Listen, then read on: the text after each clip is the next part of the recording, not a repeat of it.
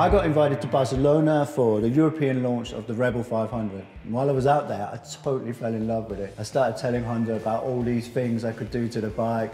I could customize it, turn it into this kind of motocross BMX. Well, they totally called my bluff and they said, here you go, here's our Rebel 500, show us what you can do. This part here looks absolutely beautiful. We've got to strip the bike down.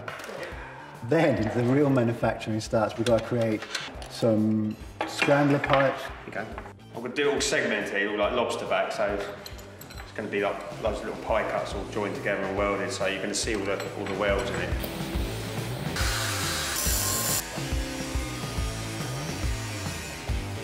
So it'd be nice to be able to fire it up when we've done it. I'll see what it sounds like. We're going to get some custom bars on there. We've got to rewire it. Can't wait to see it finished.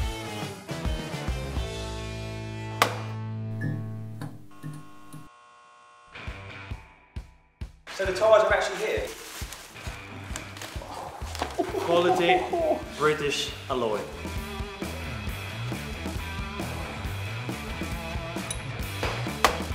It's just nice to get our hands dirty, really. It's nice to start seeing the vision of, of, of the new bike coming together.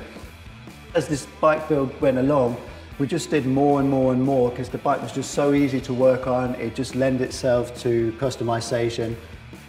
When it comes to wrapping, we really felt that this bike needed an expert hand because it's such an intricate design. So it's almost like a Victorian flocked wallpaper. In many ways, I think the crown's going to fit better than the bowler hat.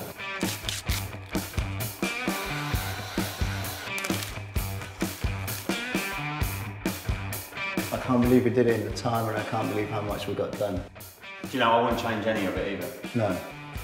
It's So such a beautiful bike.